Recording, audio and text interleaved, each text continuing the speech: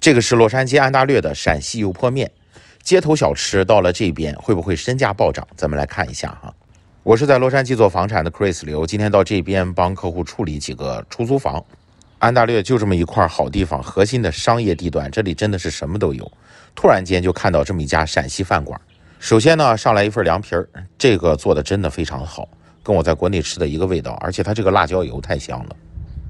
接下来呢，就是这样一大碗油泼面，我点了好几样，我知道我肯定点多了，但是呢，看到这个菜单每一个都想吃。这个面一定要拌匀了，再撒上辣椒油。面皮儿特别的筋道，这个很香。虽然它是在安大略，但是我觉得比圣盖博那边做的要好。